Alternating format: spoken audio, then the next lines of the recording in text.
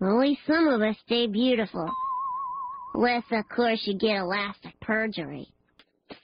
Thank you, Brother Toby. Well, since you two babies are brothers now, I guess you're gonna need me to be your big sister. Of course, then I'll have to show you how to get your daddy to buy you toys and how to pretend you're crying. Maybe if you're real nice to me, I'll teach you how to get cookies. No, uh, we don't need a sister, Angelica. But thanks anyway. Maybe he's dead. Well, this will surprise Chuckie, all right. Dead? What do you mean? Well, that is when you're asleep for a long time. Like forever. Chuckie's gonna get eaten, eaten, eaten. Chuckie's gonna get eaten by the monster under his bed. Oh, don't listen to her, Chuckie. Yeah, she's a terrible singer. Kids, what are you doing?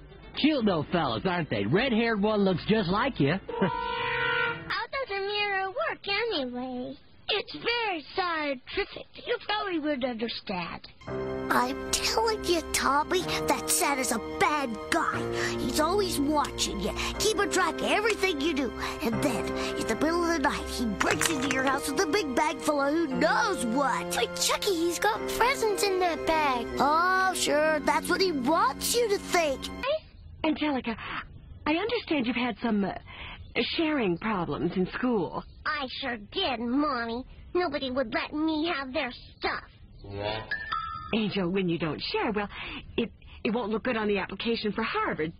So tomorrow you'll take Cynthia to school to share with your class. What? Wow, we got a baby. I wish we talked about it first. I don't know if I'm ready. She did it. Get the final nail in the coffee. Now that they're gone, let's get down to some real fun. I rented you boys some movies. Reptar Come Home, Reptar Redux, and my personal favorite, Lonely Space Vixen. Uh, uh, that's for after you go to bed. Betty, you wouldn't believe what those kids of ours are up to. Well, they're pretending they're all pioneers in a covered wagon. It's just adorable. I wish I had the video camera right now. And Angelica, this is all your fault. You made up all that stuff about Chuckie and me because you was telling us about being brothers. You want to be a big sister? Then go up that tree and bring Chuckie back. Oh, that is one mad baby.